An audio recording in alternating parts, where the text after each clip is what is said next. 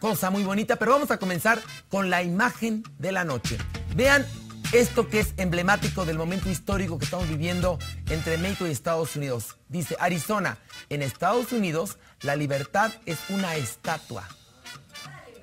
Que está, tanto critican los malditos gringos desgraciados a los nazis, son peores. No, no es cierto, es broma. Y bueno, y por otro lado, espérense, me están avisando. y caballeros, esto es Nocturninos y nosotros decimos, ¡comenzamos! ¡Bravo! ¡Bravo! ¡Bravo! Estamos aquí los Nocturninos, Paula Sánchez, ¡bravo! La doctora de la belleza. Y Jan Duber. Yo soy Jan Duber, yo soy así, Jan Duber, yo así. Sí, exacto. ¿Por qué? No es justo. Padrotea, padrotea, ¿eh? O sea, Jan, ya no, Jan está en el hospital, pero yo creo que está en un spa. Desgraciado, maldito. Imagínatelo con todas las enfermeras así. Está Me haciéndose siento la lipo, mal. de veras. Cuentan que está haciéndose la lipo o se puso chichis. Una de las dos. Bueno, este, ah, que dicen que está en Oceánica ya. Bueno, sí, porque está en Mazatlán. Bueno, hoy tenemos mucha cosa, así que empezamos con el teaser Paula Sánchez. ¿Qué nos tienes para esta bonita noche, Paula? Yo el día de hoy les voy a contar los detalles y los avances de este espeluznante caso de la emboscada a la caravana de paz internacional ocurrida en Oaxaca hace unos días. Y por otro lado, les quiero contar mucho más del caso de Polet Guevara. A un mes, a un mes tenemos noticias. ¿Y otra cosa más de espectáculos o no? Bueno, está bien, les voy a dar una notita rosa también. Lindsay Lohan tiene sida. ¿Qué? Esas son mis notas rosas, lo siento. No, no está nada rosa, ¿eh? Espérense, esto está muy fuerte. A ver, doctora, por favor, un bálsamo de paz. Ahí voy, ahí voy. A ver, doctora. Teresa y Alberta dan sus primeras declaraciones ya en libertad. ¿Ves? Sí, ¿Ves, es la las dos indígenas otomíes ya están libres y nos platican todo. Y la otra es que apenas, después de más de 10 días, están declarando catástrofe nacional el derrame petrolero en el Golfo de México. Bueno, Apenas. ha sido, ha sido más pronta la justicia. Bueno, pregúntale a las indígenas cuánto tiempo trataron de, Pues sí, pues de sí, ya. salir. Casi Le salió cuatro barato. años. Casi, Casi, sí, le salió años. barato. Oiga, doctora, una nota rosa. Ahí va, ¿eh? Ahí va. A ver, Chabelo no reconoce a su hija, pero a él lo reconocen los diputados, fíjate. no, no, hoy venimos verdaderamente No, un poco amarillos. Yo les amarillos. tengo una. En Arizona la cosa está que arde y hay un sheriff que es peor que Goebbels. Sí, ya verán este sheriff que está, pero ya dispuesto a cazar mexicanos como si fueran liebres. Bueno, digamos hispanos. Por otro lado, Barack Obama, en medio de este pedicure, dice, ay, pues la reforma migratoria sí va a tardar un poquito. Y por último, sí, sí, y por último, Pablo Montero une, une su talento al de Chaira, perdón, Shaila Durcal. Esto y mucho más, volviendo de la pausa, aquí en Nocturninos. ¡Bravo!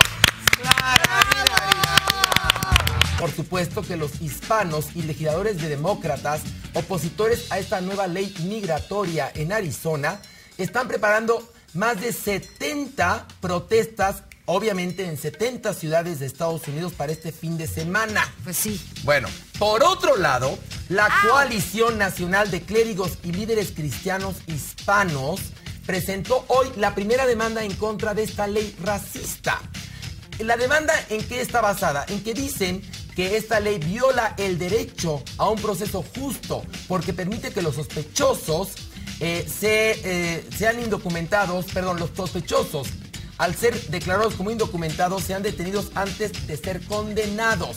Lo curioso es que esta coalición eh, representa más de 30 mil iglesias en Estados Unidos, lo cual pues es peligroso porque ya ven que la iglesia tiene un gran poder. Y por último, Bill Clinton salió en defensa de, de los indocumentados diciendo que Estados Unidos necesita todavía la presencia y la llegada de inmigrantes porque son en primer lugar una fuerza de trabajo que va a pagar impuestos, que paga impuestos, que ayuda al crecimiento del país y que además es sangre joven, porque los estadounidenses no se están reproduciendo y ya son una población Pero además, adulta. que ya se les olvidó que son un país de inmigrantes. Claro, ¿cómo O sea, llegaron? conformado única y exclusivamente por inmigrantes del mundo entero. En primer lugar, llegaron las 13 colonias eran for- fueron formadas por inmigrantes Claro. ingleses que llegaron a esa tierra y que acabaron con los indios. Y después todos los demás pueblos que llegaron a ese país y lo hicieron grande, señores. Claro. Lo hicieron ¿No grande es y la tierra corrupto. de las oportunidades? Bueno, bueno, ¿No? cuando ya sabemos que aquí no son, no son este, inmigrantes ilegales, sino son trabajadores internacionales, permítame que se los diga. Claro que no es lo Pero mismo. bueno, esta nota que la di preciosamente, es más, un aplauso.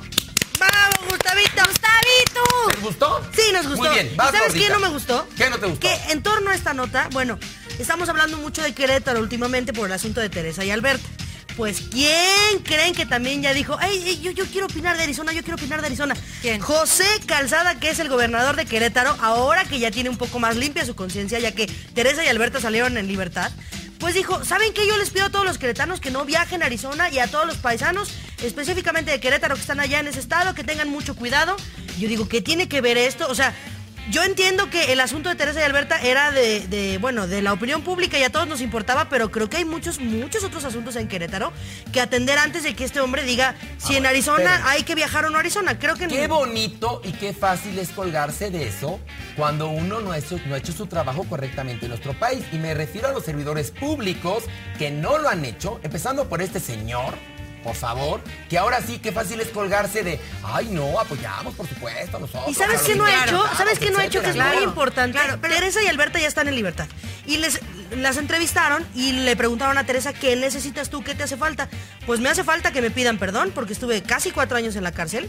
Y, y bueno, yo me enteré por mi abogado. Aun cuando la Suprema Corte de Justicia de la Nación votó y, y fue unánime la decisión de que saliéramos de la cárcel, na- ninguna autoridad se ha acercado a ellas para pedirles perdón y para decirles, estuvimos en un error. Creo que, que es lo menos que pueden hacer antes de andar declarando si Arizona o no Arizona. Como dices, lo menos. Porque a ver cómo, cómo van a recuperarles el tiempo que perdieron, la- las ganas, el- la vida en los negocios, una serie de cosas, ¿me entiendes? Y de hecho están- La están familia, deliberando si- si su hay vida, posibilidad de cuatro que- años de vida encerradas Bueno, pero- gratuitamente, pero además- de manera inocentes. Cuando las cárceles, según esto, no son suficientes para encerrar a los delincuentes. ¿Qué hace la gente inocente dentro Espérate, de las cárceles? cuando, cuando eh, eh, no hay manera de juzgar a ese juez que las declaró culpables y que ni siquiera les permitió en su, en su juicio que tuvieran un traductor del otomí al español, porque no se los permitió. ¿Dónde está este juez? Porque la Suprema Corte de Justicia declaró por unanimidad que eran inocentes. O sea, chequen por favor entonces el, el nivel que tenemos de aplicación de justicia en nuestro país, donde un juez en Querétaro las declara narcotraficantes y secuestradoras. Y resulta que la Suprema Corte de Justicia las declara inocentes por unanimidad.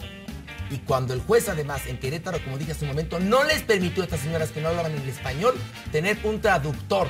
Fíjense qué preciosa aplicación de justicia tenemos en nuestro país. Oye. y aún así quieren que confiemos en las instituciones.